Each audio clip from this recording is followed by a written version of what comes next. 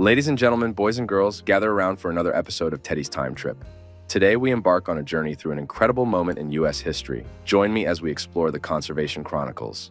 Our story takes us back to the early 1900s, a time when the United States faced environmental challenges, particularly in the realm of wildlife conservation. Our hero in this tale is none other than President Theodore Roosevelt, fondly known as Teddy. Teddy Roosevelt was not just a president, he was a true conservationist.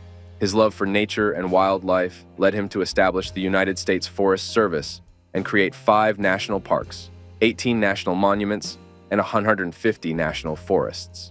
Quite a remarkable feat, wouldn't you say? Now, let's delve into a heartwarming story that gave birth to the iconic teddy bear. During a hunting expedition in 1902, President Roosevelt refused to shoot a captured bear, deeming it unsportsmanlike. This act of compassion caught the public's attention, leading to a political cartoon featuring Teddy and a small bear cub. The cartoon inspired a Brooklyn shopkeeper named Morris Michtom to create a stuffed bear named Teddy's Bear. The bear became an instant success, and the teddy bear craze spread like wildfire, becoming a symbol of love, comfort, and friendship. Teddy's commitment to conservation and his symbolic connection to the cuddly teddy bear left a lasting legacy. His actions paved the way for future environmental policies and a greater awareness of the importance of preserving our natural treasures.